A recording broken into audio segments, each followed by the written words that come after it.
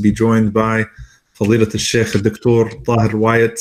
Uh, blessed to have him back, Alhamdulillah Rabbil. Of course, we benefited greatly from uh, his uh, segments in Quran 30 for 30 during the month of Ramadan. And Alhamdulillah Rabbil I think that everyone um, really found great benefit in the khutbah that you gave last Friday, Sheikh, addressing the situation. Allah yataqabbal minnak ya Rabb. May Allah accept it and, and uh, continue to guide your heart and guide your tongue and uh, make you a source of guidance for all of us. Allahumma ameen. Of course, we have uh, Sheikhna Sheikh Abdullah Oduro as well. Alhamdulillah Rabbil Alameen. Uh, with us, uh, Sheikh Abdullah. It's good to, good to have you as always. Alhamdulillah. And uh, we have a we have a great selection today. Honestly, Subhanallah, it's it comes before uh, probably some of the most frequently recited verses of the Quran uh, about the names and attributes of Allah Subhanahu wa Taala. But uh, there is a passage that comes before that that really sets it up so beautifully, and I think helps us understand it. So, inshallah ta'ala, I'm going to invite uh, Dr. Tahir Wyatt to start us off, inshallah, uh, with uh, a framework uh, based on these ayat, inshallah ta'ala, for tonight. الحمد لله رب العالمين وأشهد أن لا إله إلا الله ولي الصالحين وأشهد أن محمدا عبده ورسوله. بعثه الله رحمة للعالمين. اللهم صل وسلم وبارك وانم على نبينا محمد وعلى آله وصحبه أجمعين. أما بعد uh, Allah subhanahu wa ta'ala uh, says towards the end of Surah Al-Hashr, as you said, these, these ayat that are oft recited in the Quran, Allah subhanahu wa ta'ala says, الَّذِينَ آمَنُوا اتَّقُوا اللَّهِ يا أيها الذين آمنوا اتقوا الله ولتنظر نفس ما قدمت لغد واتقوا الله uh, Allah subhanahu wa ta'ala here is commanding us with taqwa. He says, O you who have iman, ittaqullah. And taqwa is often translated as uh, God consciousness. Um, I was talking with somebody the other day about how we used to translate it as the fear of Allah and we honestly we moved away from that because a lot of people um, don't really understand the fear of Allah subhanahu wa ta'ala in a broader framework of fear being a motivating factor to avoid those things which would displease Allah subhanahu wa ta'ala. So, uh, in any event, it is that reverent fear of Allah subhanahu wa ta'ala that uh, makes us conscious of Him at all times, have taqwa of Allah. Uh, interestingly enough, uh, we're coming out of the month of taqwa, the month of Ramadan, the month where we reminded to uh, that the goal, in fact, of fasting, that the higher objective of fasting is to attain taqwa. So Allah subhanahu wa ta'ala here is saying, Ya ayyuhalladhina amanu taqullah. Then he says, Wal tanzur nafsum ma qaddamat lighadin. And let every soul look to what it has put forth for tomorrow. Let each one of us be conscious of our actions and what it is that we are putting forth for the hereafter. And then Allah Azza reminds us again, what taqwa. Right? So sandwiched in between taqwa, right? These, these commands of taqwa is that we are conscious of what we are putting forth for tomorrow and that we look to that. And this, as uh, Imam Abdul Rahman bin Nasir al-Sa'di rahimahullah ta'ala says, is هذه الآية الكريمة he says that this noble ayah أصل في المحاسبة أو في محاسبة النفس that it is the foundation it is a it is the a primary proof for the obligation of محاسبة النفس and that we take account of ourselves uh, literally you know we could say doing a self audit right? So when a person has a company and you do your books and somebody else comes in and they audit, you know, they, they, they're looking at every little thing, you know, where, where this uh, dollar came in and where that dollar went out, right? So there, there's this process of auditing. And muhasabatun nafs is the process of auditing yourself, taking account of yourself, doing your self examination.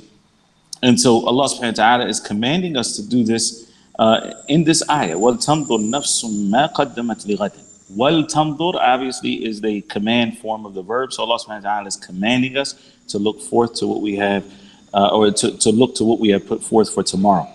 That, that being said, there are several, uh, I mean, this theme throughout the Quran is, is um, prevalent. And in the Sunnah of the Prophet والسلام, as well, there's an oft uh, mentioned hadith. And though the hadith has some weakness in it, the, the meaning is accepted across the board. The Prophet والسلام, said, Al Kayyisu من دان نفسه الكيس من دان نفسه وعمل لما بعد الموت the intelligent one is the one who takes account of himself دان نفسه means يعني حاسب نفسه so he takes account of himself he he does a self-examination وعمل لما بعد الموت and he works uh, for that which is after death uh, in other words that his focus is on the hereafter his focus is on pleasing Allah subhanahu wa ta'ala. And uh, in that same regard is the is the famous statement of Umar ibn al-Khattab which comes in the uh, Kitab al-Zuhud by Imam Ahmad. Umar radiallahu ta'ala anhu, he said, Hasibu anfusakum qabla an tuhasabu. Take account of yourselves Take account of yourselves before the day comes when you will be taken account of. Wazinu a'malakum qabla an tuzanu. And weigh your deeds before the day comes when they will be weighed. And if we really think about this, this uh, advice from Amir al-Mu'mineen, Umar al Khattab, radiallahu ta'ala, it was profound.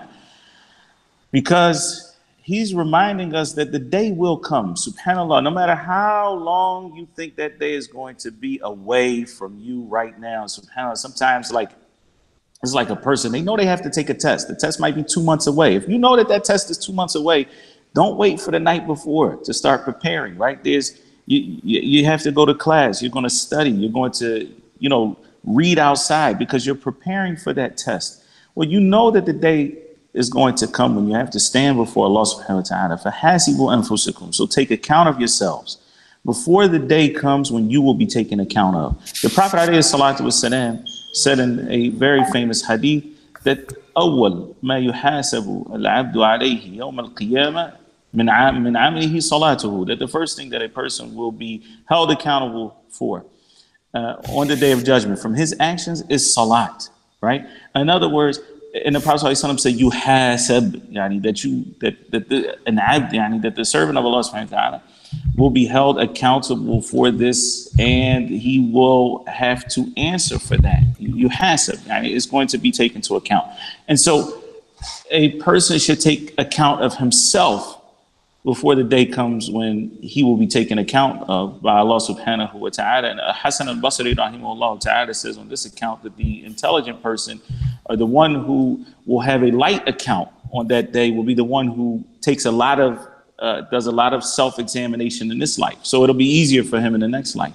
And the one who doesn't do any of that in this life, uh, and yuhlak, yani, he's going to put himself in a, or subject himself to destruction. That being said, there's a lot that can be said on this topic of muhasabah, and I, I don't want to go too far on you know, laying the foundation, but I, I, do think that is very important for us. A lot of times we think about ibadah, uh, the first thing that comes to mind is salat or fasting or hajj and umrah, and, and we, we oftentimes neglect what we call al-ibadat al-qalbiyah. So the, the, the worship of the heart, right? Tawbah, for example, yani, true repentance, feeling remorse for what you've done and, and having that firm determination not to turn back to it, that is an act of the heart. And it's an act of ibadah that's beloved by Allah subhanahu wa ta'ala. At tawakkul, loving Allah, uh, putting, it, put it, putting your trust in Allah subhanahu wa ta'ala, relying upon Him. All of these are acts that are beloved to Allah subhanahu wa ta'ala in their actions of the heart. Muhasabah is similar in this sense. This uh, self examination is not something you're going to do with your hands or your limbs. It's something that is a, an action of the heart, and it's very important that we that we give it its due. Uh, one of the early uh, tabi'een, Maymun ibn Mihran, rahimahullah ta'ala, who was actually from the students of Ibn Abbas and Ibn Umar and Aisha radiallahu ta'ala anhum ajma'in. He said a very famous uh, statement related to muhasabah, and I, I think it puts things in context Uh, he says that a person will not be a taqi. We won't attain taqwa, right? He says you will not become a taqi. حتى يكون لنفسه أشد محاسبة من الشريك لشريكه. Yani he won't become a person of taqwa until he is, is to himself more severe in overlooking uh, or, or, or that oversight, making sure that things are done right that he does this to himself more than a business partner would do to his business partner. And that is why they said, and nafsu kasharik al khawan, right? That the, the soul, that the self, if you will, is like a deceitful business partner, right? He's your business partner, but he cheats you sometimes. In lam tuhasibhu dhahaba bimalik. If you don't take account of him, if you don't watch him, he's going to run away with your money. And so the same thing can be said about the soul. If we're if we're not conscious and we're not looking at our actions, then it is very possible that, or very likely, in fact, that the nafs al ammara bisu, that that part of ourselves that is whispering to us to do bad things is going to take over.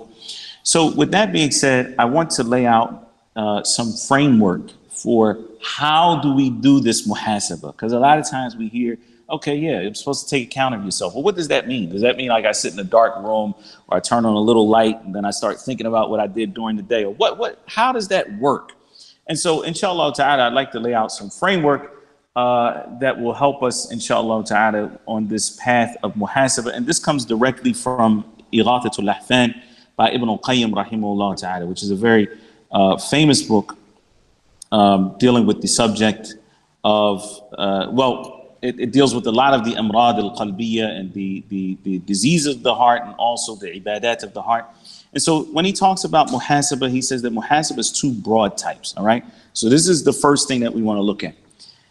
The one is muhasabah ma qabla al-amal. So taking account before you even do an action and then the second broad category is after the action is done. So these are two categories. Before you even sit down, before you even do anything, you want to take account of yourself. All right. So then he goes on and he breaks that down into four more categories. All right. And so what you look at here is uh, number one, this action that you are intending to do. So he says that you stop at your at the first time that you're thinking about doing this this amal, this, this action, the first time that you're desiring to do it, you stop there and you ask yourself, is this action within my ability? So that's the first question. Is this action within my ability to do and reasonably?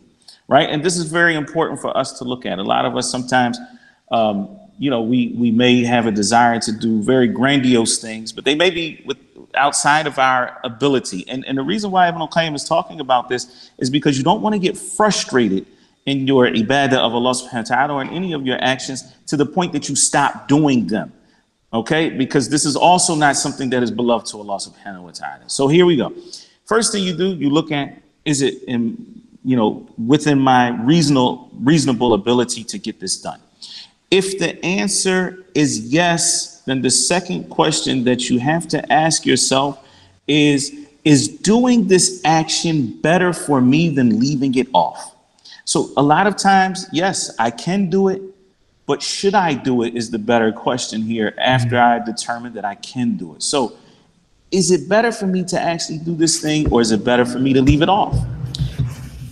If your answer to that question is yes, this this act of ibadah or this act in general is better for me to do it, than your third question that you ask yourself is what is my motivation for doing it? And this is where the whole concept of ikhlas comes in. Is am I motivated to do this action solely for the pleasure of Allah subhanahu wa ta'ala and seeking his reward? Or is there something else motivating me? Am I seeking thanks from people? Am I seeking that they praise me uh, for the action that I'm doing? Am I looking for validation from it from an external source?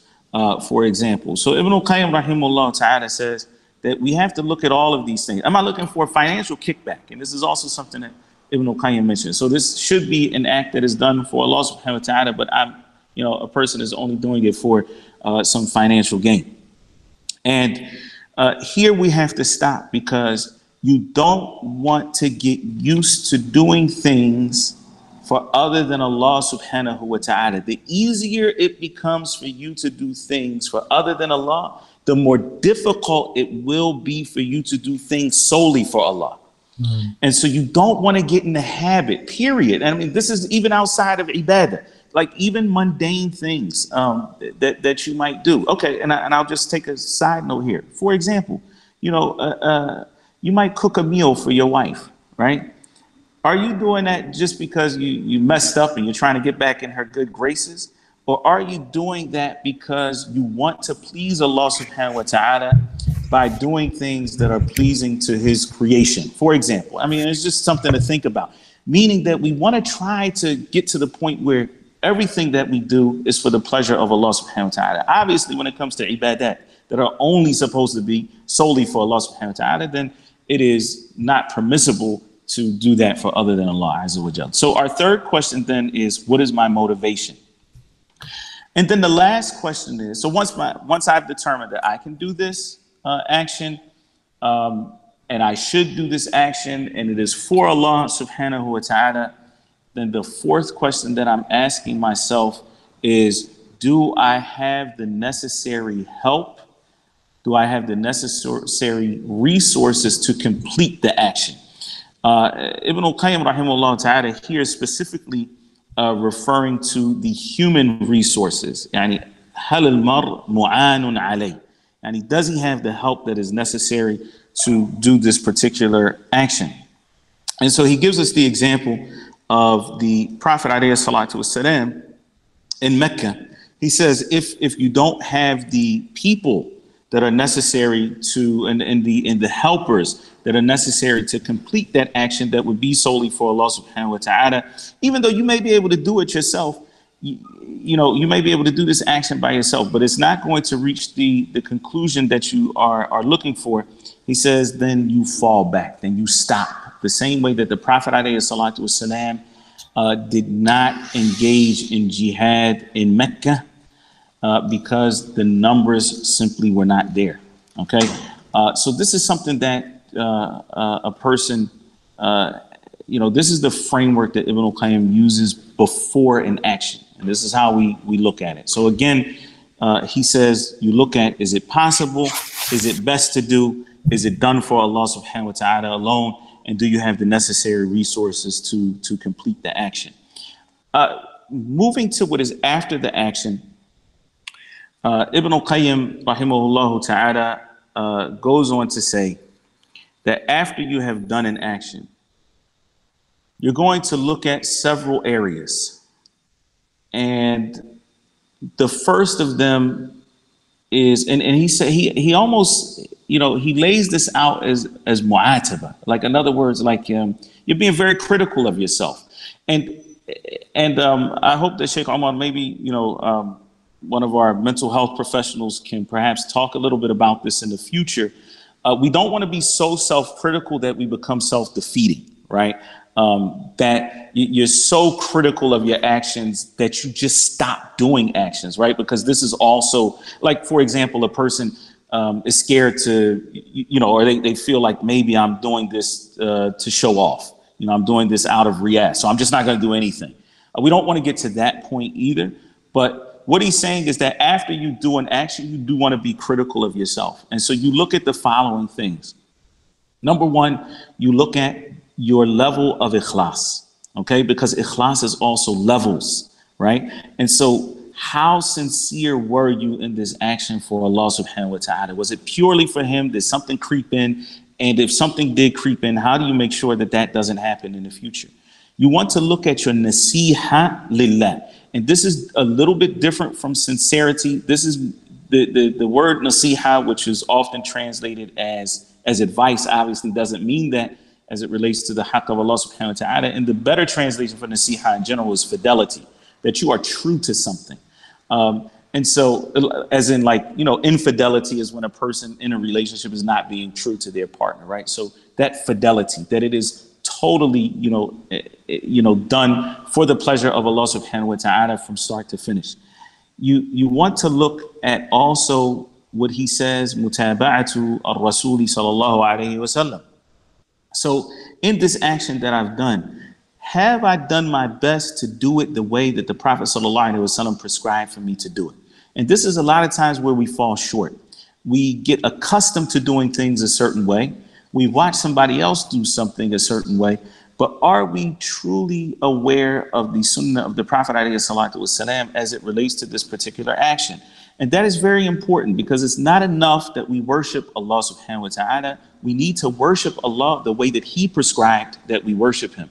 This is very important. And this is one of the things that has historically distinguished Ahl Sunnah from those who leave the path of Ahl Sunnah is that they're very keen on worshiping Allah the way that Allah subhanahu wa ta'ala prescribed for Himself to be worshipped. After that, uh, Ibn al-Qayyim rahimahullah mentions shuhud al-ihsan uh, in other words, um, have you have you done your best in this action? Okay, uh, ha- have you have you reached the level of ihsan in this act that you have performed?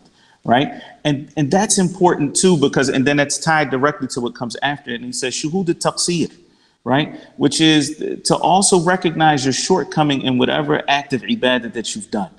Uh, right after salat, immediately after you do salam, astaghfirullah, astaghfirullah, astaghfirullah, astaghfirullah for what? Because because you just did something wrong? I mean, you just prayed. Astaghfirullah, because you always need Allah subhanahu wa ta'ala's forgiveness, number one. And number two, because you yourself recognize that even in that salat, as short as it was, there was some shortcomings. You know, perhaps you weren't totally, you know, uh, mindful the entire salat, or perhaps there were some things that you could have done better that you didn't do. So recognizing your own faults and shortcomings uh, in whatever action it is. And then he says, وَشُهُودَ الشُّكْر and witnessing the, the gratitude. In other words, that we are thankful to Allah subhanahu wa ta'ala for having guided us to those acts of ibadah that we've done. And these are and these are as it relates to acts of ibadah. Uh, if it is something that is haram, then Ibn al-Qayyim has a different framework that he uses for, you know, how we do muhasabatu nafs, and that is where a person is going to turn back to Allah subhanahu wa ta'ala, repent to him. Uh, literally Toba, right, means to turn around. So so we're turning, we're changing our ways, we're turning from uh, that act of disobedience and turning to the obedience of Allah subhanahu wa ta'ala and being critical in that way and looking at, and this is very important when it comes to acts of disobedience. Don't just look at the act itself, look at what led up to the act. Because you have to, if, if you want to stop any act of disobedience to Allah subhanahu wa ta'ala, you have to be able to stop the roads that lead to that disobedience of Allah subhanahu wa ta'ala. Avoid the situations, the conditions, the scenarios that put you in that environment that made it easy for you to disobey Allah subhanahu wa ta'ala. So these are things that, that you look at after an action, you take account of yourself. I'll give one example and then I'll finish here because I know I've taken a lot of time. But the, the example that I'm going to give is the example of salat, right? Uh, when it comes to, uh, for example, a person who misses salat al-fajr. And then he says to himself, well, what is it that caused me to miss Salat al-Fajr? It's not that I, it's not just that the person missed Salat al-Fajr. That's not, you know, that is a sin. But what is it? Uh, it was that I stayed up late, you know, with my friends the night before and I did not get enough sleep. Okay. If that is the case, then a person who is truly, you know, repenting to Allah subhanahu wa ta'ala is going to realize the next time that I can't stay out that late with my friends. So you're actually thinking in advance, right? So here we go again. Your friends call you, they say, hey, you know, we, we, we want to go, uh, we, we're going to, um, we're going to hang out together. We're going to read a book together. It's going to be nice. It's going to be full of ibadah and so on and so forth. But then he starts thinking. So he says, can I do this action? Right? Says, yes, I can do it. Number two, should I do this action? Hmm. When he starts to think about, should I do it? And then he thinks that, wait a minute, if I do this, though it may seem like it's a good thing, it's not really good for me because I need this amount of sleep to be able to get up for Salat al-Fajr. And so then he stops right there. He doesn't even get past that point because he realize, realizes that leaving it off is actually better than doing it. Anyway, this is the framework that was provided by Ibn al-Qayyim. This topic of muhasabah is one that needs a lot of reflection. Uh, uh, one lecture is not enough, but hopefully, inshallah ta'ala, uh, there's some benefit in what was said. Wallahu a'lam wa sallallahu wa sallam wa baraka Muhammad. You just signed up for uh, part two. You realize that, that's necessary. When you say it's not enough for one lecture, and then you say, you know, there's more. Yes, subhanAllah. Barakallah. Very, very beneficial, Sheikh. Jazakallah khair. So, Sheikh Abdullah, I'll hand it off to you, inshallah, with some thoughts from your end. Jazakallah khairan. MashaAllah. Bismillah wa salatu wa salam ala Rasulillah wa ala alihi wa sahbihi wa man walah. Rabbi shrah li sadri wa yassir li amri. واحلل عقدة من لساني يفقه قولي يا رب العالمين جزاكم الله خير شكرا طاهر uh, for the beautiful reminder on muhasabah and uh, holding oneself accountable. And uh, what I want to touch on is within this general framework of muhasabah, but it's a certain aspect of muhasabah.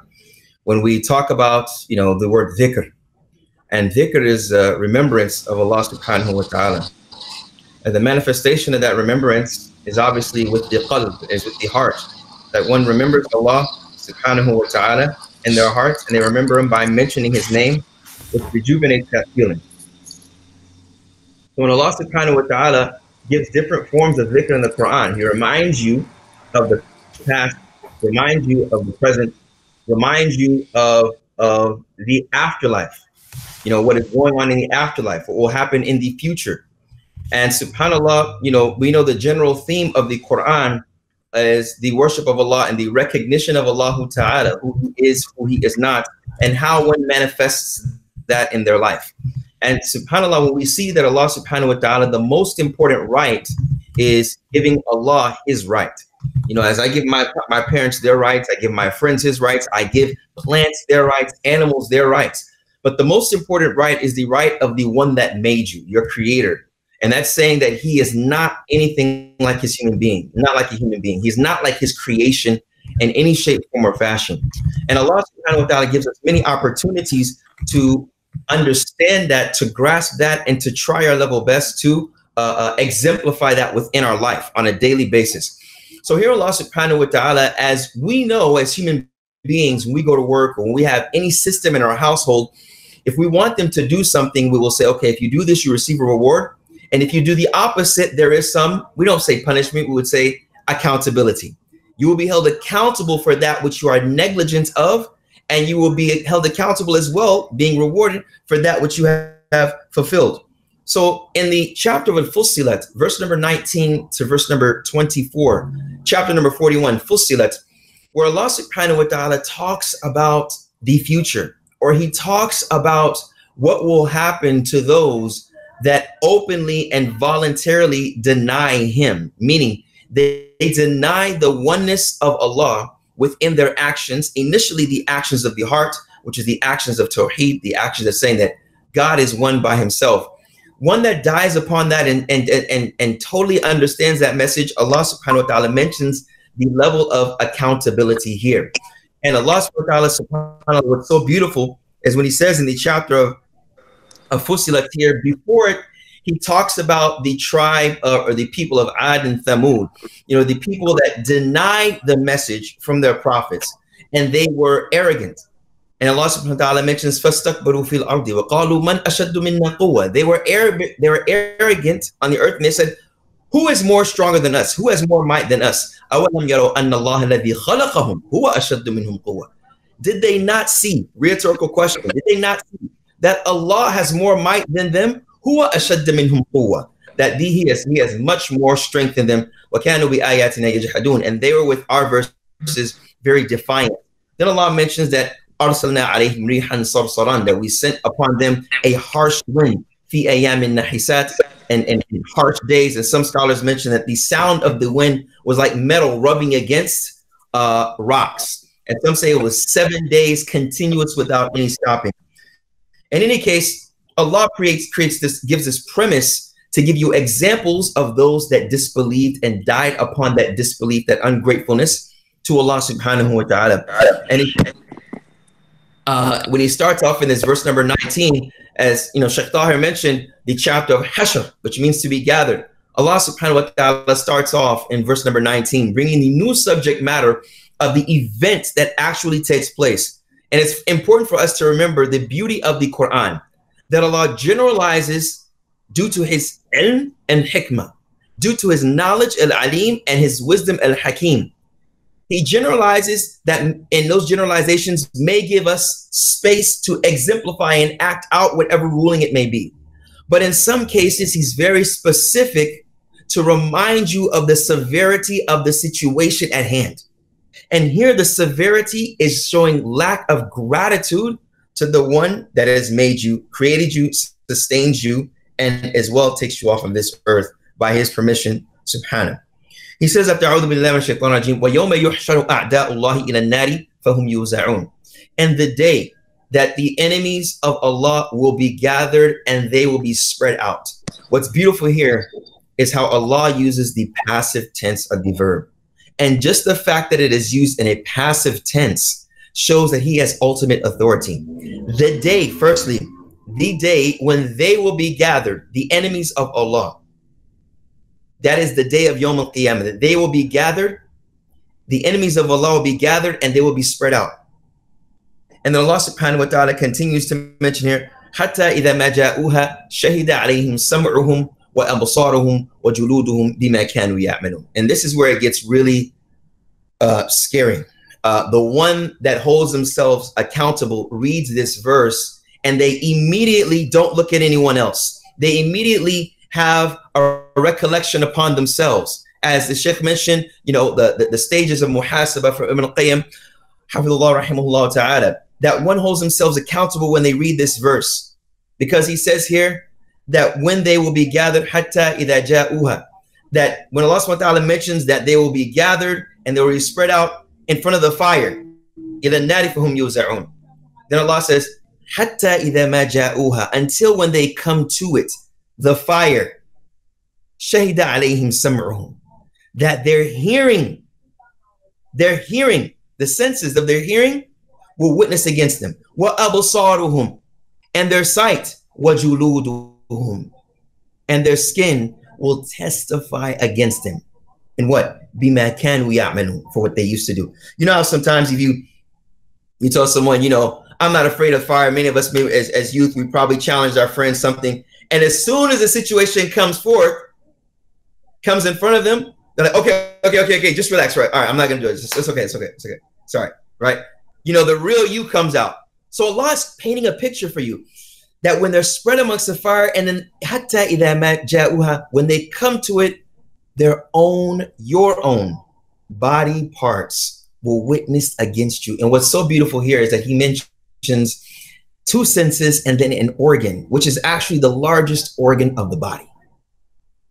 That it will witness against you for what you used to do. Just stopping here, one should look at this verse and at least tremble with fear, at least tremble with some kind of mindfulness. As Sheikh Tahir mentioned, the meaning of taqwa is that, you know, we have this mindfulness which leads to all the other exemplifications of ibadah, fear, love, honor, etc. And that serves as a means and a protection from doing something that which is detrimental to your soul. Right? So when looking here, Allah subhanahu wa ta'ala says that these body parts will witness against them for what they used to do. Then Allah brings you the actual statement.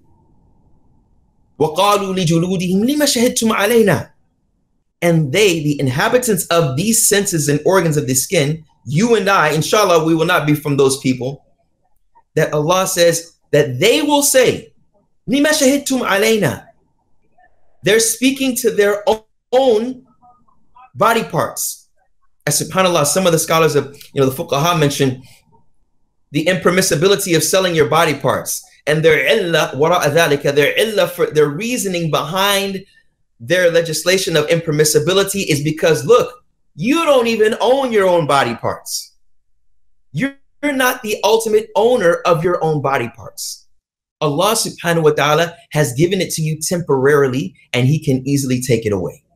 So Allah subhanahu wa ta'ala is saying here that they will ask their body parts, why did you witness against us? قالوا أنطقنا الله الذي أنطق كل شيء that the body parts will say أنطقنا Allah our own Allah subhanahu wa ta'ala made us speak and then he reminds himself the body parts remind him the one that causes everything to speak, reminding you that he has ultimate authority. And then he reminds you again, reminding all of us, the listeners and the readers, وهو خلقكم أول مرة وإليه ترجعون سبحان الله Allah and then he says here that he's the one that has created you from the very beginning and to him you will return just reminding you that you have no ultimate ultimate authority and control which should leave one uncertain of their own existence and uncertain of what will happen to them in the next life just think about that we already know that we don't know when we're going to die so we should hold ourselves accountable during this life when reading or hearing these types of verses. And we do not know what will happen to us after we die. So we should hold ourselves accountable during this life to hopefully, when we go where we go, that it is a place that it is not as such. It is not to where we will stand in front of the fire and we will be held accountable. Then Allah subhanahu wa ta'ala mentions, وَمَا كُنْتُمْ تَسْتَتِرُونَ أَن يَشْهَدَ عَلَيْكُمْ سَمْعُكُمْ وَلَا أَبْصَارُكُمْ وَلَا جُلُودُكُمْ Then Allah subhanahu wa ta'ala says, and you have not been hiding your, against yourselves, lest your ears, your eyes, and your skins testify against you. That all of this that is taking place, were you not aware that it is your body parts that will testify against you? One should automatically look at themselves, you know, look at their hands and look at what they're doing and be aware that you will be asked about these senses. How did you use them? You will be asked about this skin. How did you use it? You are the dweller inside of this largest organ of your body, your skin. What are you doing that shows gratitude to the one that has given it to you? And then Allah subhanahu wa ta'ala continues to say here, ولكن ظننتم أن الله لا يعلم كثيرا مما تعملون that you thought that Allah subhanahu wa ta'ala was not aware of all of what you do. And remember, he mentions here in earlier that you think that you're not aware that Allah is not aware of what you're doing on this earth. Allah gives you this small example of something that we cannot fathom. Your own body parts testify against you. You know, Allah, on my way here to Houston, I'm looking and I'm seeing, I'm blinking. You know, I'm asking myself, am I getting old? Is there something wrong with my left eye? And I'm saying to myself, you know what? I don't even have control over my own eyes. If something was to happen, I would go to the ophthalmologist, the optometrist, hoping that they can help me. And that shows that I have no ultimate control, relying on someone else's knowledge that is also limited. The one that is not limited is shown his strength and power, being that he has created you and he has given you these faculties. So here Allah subhanahu wa ta'ala is creating that that that that means of remembrance for you to understand that you have no ultimate control to where your own body parts will witness against you and what you used to do. And he's reminding you do not be negligent on this earth by thinking that Allah is not aware of what you do with these body parts. Then Allah subhanahu wa ta'ala continues to say, وَذَلِكُمْ ظَنُّكُمْ الَّذِي ظَنَنْتُمْ بِرَبِّكُمْ أَرْدَاكُمْ that these thoughts, that these thoughts of yours, which you thought about Allah, has brought you to your own destruction.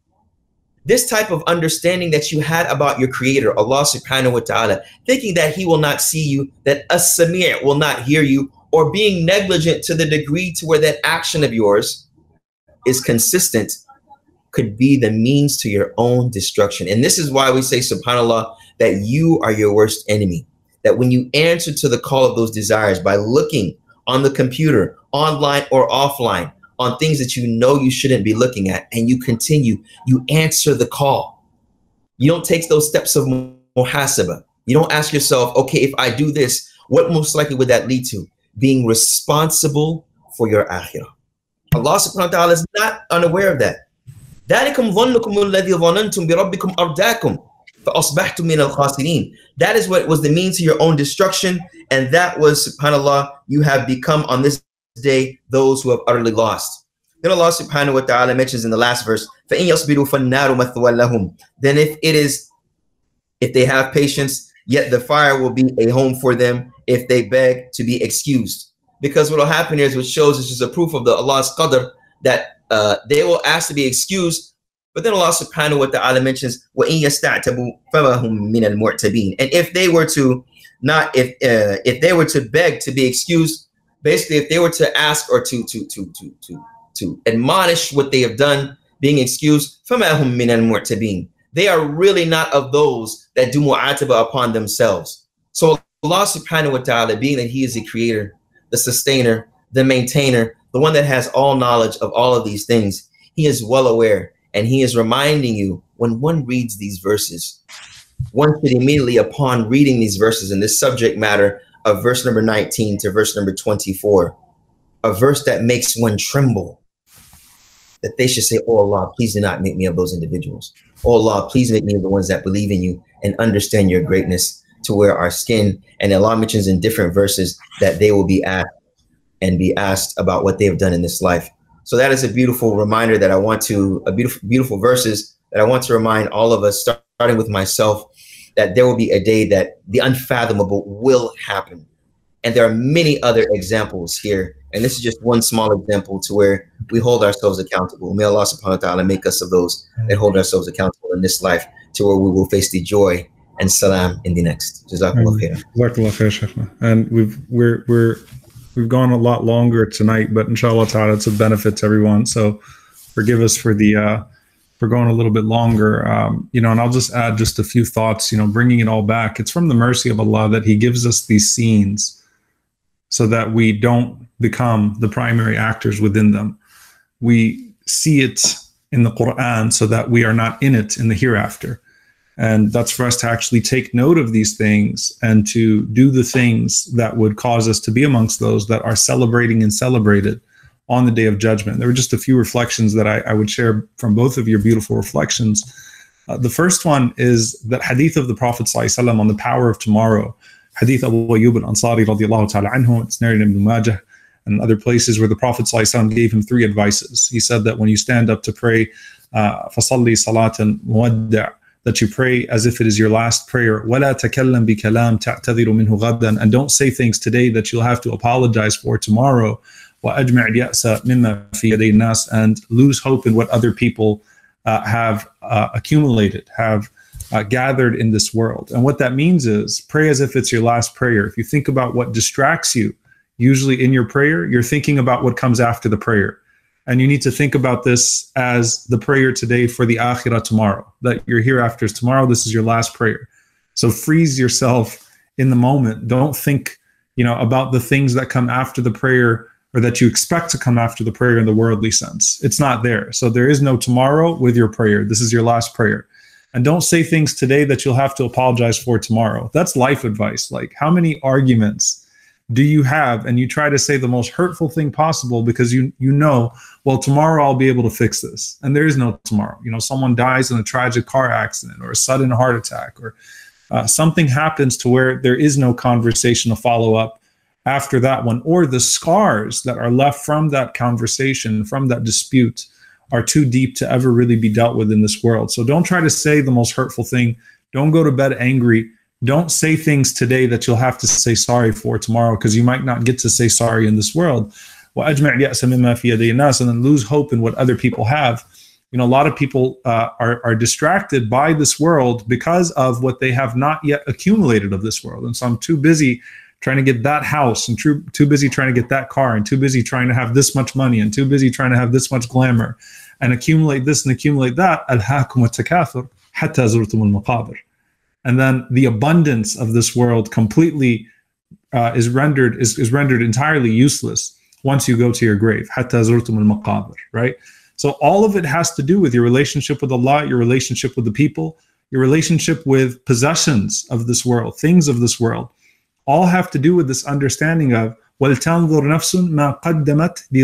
look at what you have put forth for the inevitable tomorrow which is the hereafter and subhanAllah, at the end of the surah, which is uh, Surah Al-Hashr, uh, Allah Azza has these beautiful verses about His names. And the way it starts off, Hu Allahu alladhi la ilaha illahu, alimul ghaybi wa shahada. Allah glorifies His knowledge of the heavens and the earth. And then at the end of that sequence, يُسَبِّحُ لَهُ مَا فِي السَّمَاوَاتِ وَالْأَرْضِ Everything in the heavens and the earth glorifies Him in ways that human beings cannot understand. So it's only Allah that knows everything of the heavens and the earth, that which is seen and unseen, major and minor, concealed or made public. And everything in the heavens and the earth glorifies Allah in some way. So فَكُن مِنَ السَّاجِدِينَ Be amongst those that are prostrating to Allah. Be amongst those that are doing tasbih of Allah, that are glorifying and praising Allah. And finally, Allah says in, in you know in, in many parts of the Quran, uh, this idea of everything disappearing. كل من عليها فان. Everything in this earth disappears. ويبقى وجه ربك ذو الجلال والإكرام. And that idea of only Allah subhanahu wa ta'ala uh, being at, at, one point the only being being Allah subhanahu wa ta'ala and everything else wiped out you know many of the ulama mentioned uh, that that one of the benefits of that ayah is that the only thing that stays yabqa the only thing that stays other than of course Allah himself is what was done for Allah sincerely everything else becomes useless meaningless ceases to exist except for accountability for it except for the deeds that were done solely for the pleasure of Allah subhanahu wa ta'ala, seeking His reward, those stay. And that's where you have that accumulation of what you prepared today, tomorrow. So it's muhasaba and being more mindful of what you've put forth in terms of evil, but also uh, being more patient with what you've put forth of good, that it will stay and that it will come back bin ta'ala. So Jazakumullah khairan, dear Mashaykh. That was, uh, I think, very beneficial for all of us. And uh, I know it was longer today. I hope all of you appreciate though, uh, you know, the, the, various aspects and elements of this. And I want to hand it off to uh, Dr. Tahir, if you could sort of give us the final word on this all, inshallah, the subject all, inshallah, and then we'll uh, send people off, inshallah. Sheikh Tahir, we can't hear you. I'll try to wrap up something very important right now uh, to connect with uh, what you said to what uh, Sheikh Abdullah was mentioning. And that is the, the ayah where Allah subhanahu wa ta'ala says, and I'm just going to translate the meaning, that those thoughts that you had about Allah, that dhan that you had about Allah is what led to your destruction, right? So it is very important uh, when we when we see that that we have the proper belief about Allah subhanahu wa ta'ala, about his names and his attributes. And so again, when you look at the end of Surah Al-Hashr and you see Allah Azza wa Jal introducing himself to his servants, um, letting us know who he is. Because if we know who he is, subhanahu wa ta'ala, then we will love him. Know, to know him is to love him, right? And we will love him, subhanahu wa ta'ala. That will be the catalyst for us doing these, that which pleases him, and we'll hope that he accepts those deeds from us, and we'll fear that we may not have done enough to please him. And so those are the arkan of ibadah, right? Those are the pillars of worship, the love of Allah, hope in his reward, and fearing his punishment. And all of that stems from that true preparation uh, for the hereafter. Uh, again, if there's one last thing that I could say, because it, it's not something that we focused on uh, in this particular thing, in this particular talk, but it is the it is the importance of managing one's thoughts. So even taking muhasabah of what you think about and not just what you do, because every action starts with a thought. Every good action starts with you thinking about doing something. And every evil action is the same way. And if you learn to control your thoughts, and Allah subhanahu wa ta'ala blesses you to do muhasabah of the way you think, then that will ultimately lead to a better muhasabah of your deeds because you'll stop a lot of the evil uh, things in their tracks. You won't even allow it to become more than a fleeting thought. And so you don't allow that fleeting thought to circle around and swim around in your head until it becomes a desire, and that desire becomes a firm determination, and then that turns into action. So we ask Allah subhanahu wa ta'ala to guide us and to make us from amongst the righteous and make us from amongst those who are constantly aware of Him subhanahu wa ta'ala and who constantly examine ourselves. Wallahu a'lam wa sallallahu wa sallam wa barak ala Muhammad. Jazakallah khair, Dr. Tahir. And, um, you know, to remind everyone, inshallah, uh, tomorrow night, inshallah ta'ala, we'll have Quranic themes. So please make sure that you follow that on the Yaqeen platforms, inshallah ta'ala. And we'll continue to do this every night, Monday through Friday, inshallah, uh, for the month of June, bi'idhnillahi ta'ala, of keeping connected with the Quran. Uh, tonight was a long one, but I personally found it very beneficial. So we appreciate everything. And we'll try to post uh, actually the framework of Ibn al-Qayyim rahimahullah summarized. We'll try to post that, inshallah ta'ala, uh, on our on our social media platforms, bi'idhnillah. And Dr. Tahir is uh, working on systematic theology. So a lot of that is the names of Allah subhanahu wa ta'ala. So that's coming out of the team that you're directing. And we just actually had Al Halim. And so inshallah ta'ala we'll, we'll continue to see uh, those those that introduction to Allah's names and attributes in a way that's beneficial to us through the work of uh, the systematic theology uh, framework that you all are working on. So jazakallah khairan. وصلى الله وسلم وبارك على نبينا محمد وعلى اله وصحبه اجمعين والسلام عليكم ورحمه الله وبركاته. وعليكم السلام ورحمه الله وبركاته